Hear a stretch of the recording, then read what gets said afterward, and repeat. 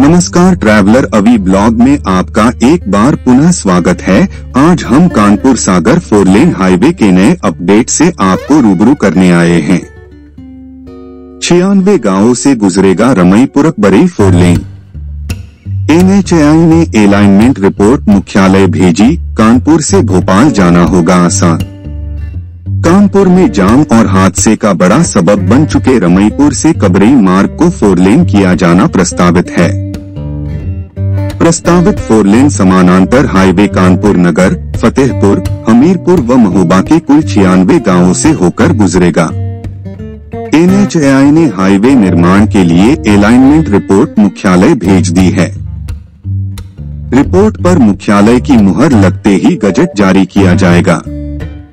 इस रोड में हैवी वाहनों का सबसे ज़्यादा लोड है। कानपुर सागर हाईवे पर हमीपुर कबरई से बड़े पैमाने पर गिट्टी, मोरन, कानपुर, लखनऊ, सीतापुर, गोंडा, बहराइच, अयोध्या, लखीमपुर आदि जिलों को भेजी जाती है। हर दिन हज़ारों की संख्या में डंफर और ट्रक गिट्टी, मोरन लेकर जाते हैं। हाईवे पर हर दिन दो लाख से अधिक वाहन गुजरते हैं।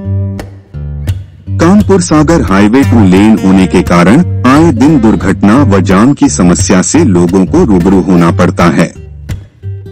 मौजूदा हाईवे पर हादसों की तादाद सबसे ज़्यादा है। पुलिस के प्रयास भी नाकाफी हो रहे हैं। 112 किलोमीटर। लंबे रमईपुर से कबरई फोर लेन समानांतर हाईवे बनने के बाद आमजन को जाम व दुर्घटनाओं की समस्याओं से मिलेगी। इसके साथ ही कानपुर से भोपाल जाने का रास्ता भी सुगम होगा। एनएचएआई ने कानपुर नगर, फतेहपुर, हमीरपुर व महोबा से गुजरने वाले हाईवे के लिए कुल छियानवे गाँवों चिन्हित कर अलाइनमेंट रिपोर्ट सौंप दी है। एनएचएआई परियोजना निदेशक अमन रोहिला के मुताबिक पर्यावरण, एनओसी के लिए पर्यावरण मंत्रालय को भी पत्र भेज दिया गया है। यह फोर लेन बुंदेलखंड एक्सप्रेसवे को पार कर कबरे तक बनेगा इसमें कानपुर नगर के इक्यावन, फतेहपुर के चार, हमीरपुर के 26 और महोबा के 15 गाँव शामिल हैं। इन गाँवों से होकर गुजरेगा four lane highway Kanpur Nagar में शंभुआ, कठेरुआ, काकोरी, चौराई हरहा छौकी, किशुनपुर, मंझावन, खेरसा, कठुई, मगरासा, रमईपुर बाजपुर लुधौरी, हाजीपुर शुंभा दो घाटमपुर तहसील में बरौली, रायपुर, पडरी, लालपुर, सतरहुली, सराय, सिरोह, भदेवना, छाजा, रामसारी, मिर्जापुर, कुम्हेड़िया, कोरिया, बमहौरा, इतर्रा, गुच्चुपुर, परास प्रथम खंड, कोरिया पश्चिमी, कोहरा, सजेती, बमहौरी, चितौली अनुया बावन, मदुरी, बरीपाल, असगहा, पड़री, गंगादीन, सिरसा, कंधौली, धरचुआ, मैधरी, असवार मऊ, समूही, लहुरी मऊ, कासिमपुर, परास, द्वितीय खंड, कोरिया, पूर्वी।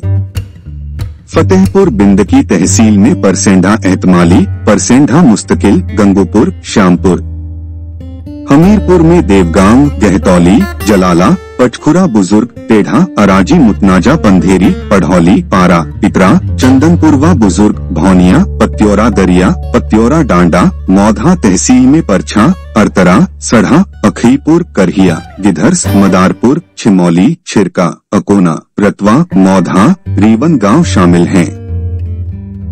महोबा में खन्ना, चिचारा, बहिगा, बरबई, गौहारी कबरई मरहठी, बघवा, कैमाहा रिवई, सुनेचा, बीला, उत्तर, नहदौरा, माफ़, बरमहौली, कहरा, मरहठी गाँवों से होकर यह फोर लेन हाईवे निकलेगा। एनएचएआई जल्द ही इन गाँव के लोगों से संपर्क करके उनके खेतों की कीमत मुआवजा देगा। कानपुर सागर हाईवे के फोर लेन होने से कबरई, हमीरपुर में लगने वाले जाम से छुटकारा मिल जाएगा।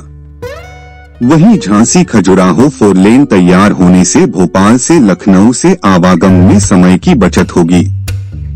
महोबा जनपद स्टोन क्रशर उद्योग के लिए प्रदेश में प्रथम स्थान रखता रहा है, परंतु अब तक सागर कानपुर राष्ट्रीय राजमार्ग के महोबा से कानपुर तक मात्र टू लेन होने तथा इस मार्ग पर वाहनों की अधिकता से महज 120 किलोमीटर की दूरी तय करने में पाँच से छह घंटे का समय लगता था। वहीं अब छप्पन किलोमीटर के बाईपास बनने व कबरई से रमईपुर तक फोर लेन सड़क के निर्माण हो जाने से यह दूरी दो घंटे में ही तय की जा सकेगी।